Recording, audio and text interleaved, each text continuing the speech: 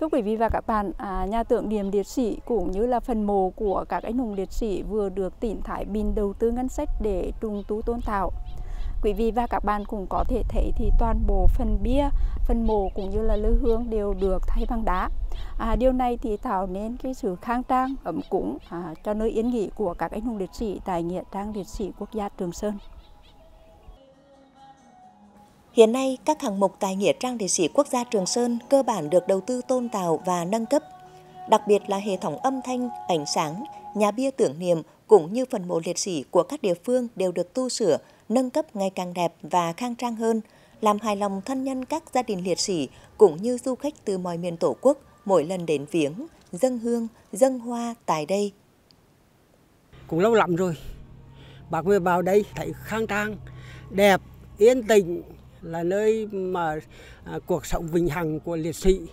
à, là cuộc sống là cũng cũng cũng yên bình tươi đẹp làm nguôi ngoai vời đi và nguôi ngoai cái nỗi nhớ thương à, và sự mất mát của gia đình và dân tộc. Tại Nghĩa trang liệt sĩ quốc gia Trường Sơn, thông qua việc nâng cấp, sửa chữa, mỗi khu mộ liệt sĩ của các địa phương đều thể hiện rõ bản sắc văn hóa vùng miền, Bên cạnh làm đẹp hơn nơi yên nghỉ của các anh hùng liệt sĩ, còn tạo nên sự đa dạng về văn hóa,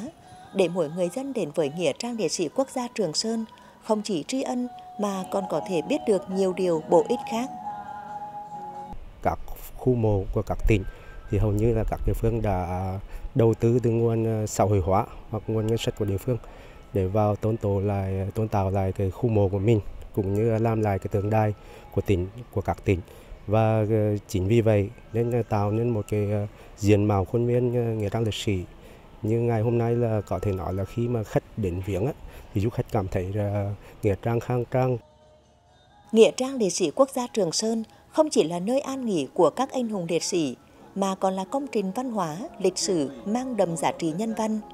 Việc làm đẹp cho khuôn viên nghĩa trang, cho các công trình phần mộ liệt sĩ thông qua công tác xã hội hóa nguồn lực cho thấy đạo lý uống nước nhớ nguồn ngày càng lan tỏa sâu rộng.